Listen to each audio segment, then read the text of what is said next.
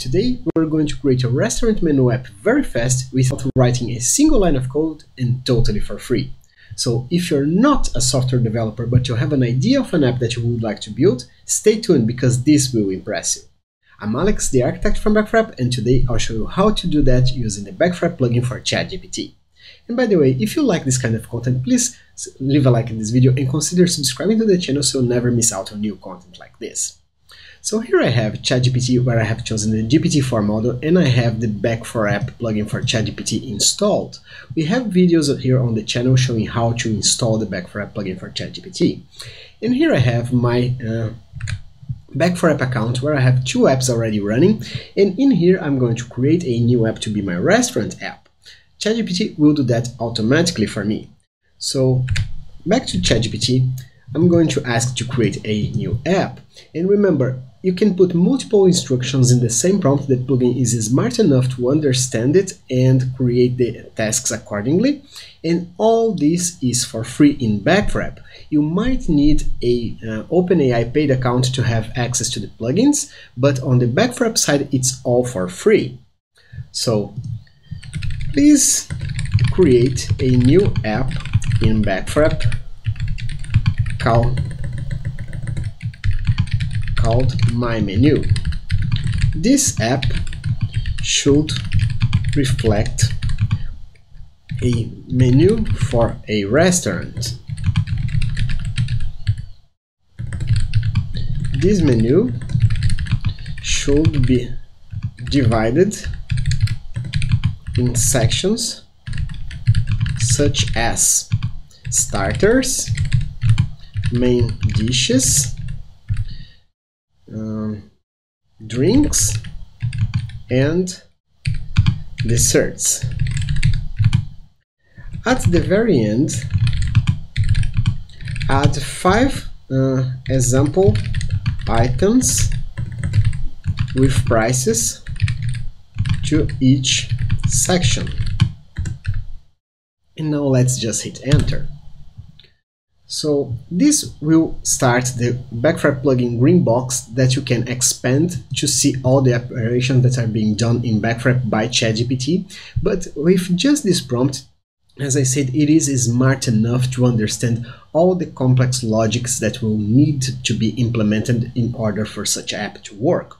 So all I have to do is to wait for it to complete all the operations and let's see what the results will be.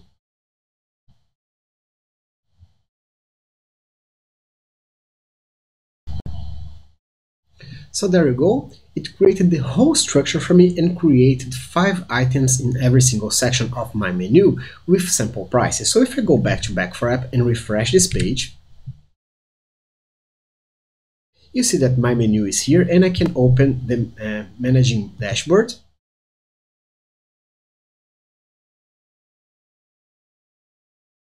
where you find the dessert section, drink section, main dishes section, and starter section. So I can, for instance, click starters to see how much a Caesar salad cost. And this works for all other sections as well. And this goes much further because I can now use the same plugin for ChatGPT to consume this data in a smart way. So back to ChatGPT, let's prompt it to generate a meal for me. So please generate a list from this menu. Having a starter, a main dish, a dessert, and a drink. In a way that the price is as low as possible.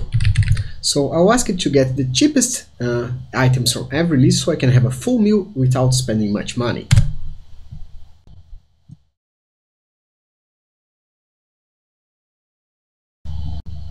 So there you go. If I want to have a lunch in this example restaurant without spending much money, I would start with a garlic bread, then having a veggie burger, having a coffee and an ice cream sundae. This would cost me 24.26. Now let's suppose I want to spend some more money. So please let uh, generate an option with the highest possible prices for each section.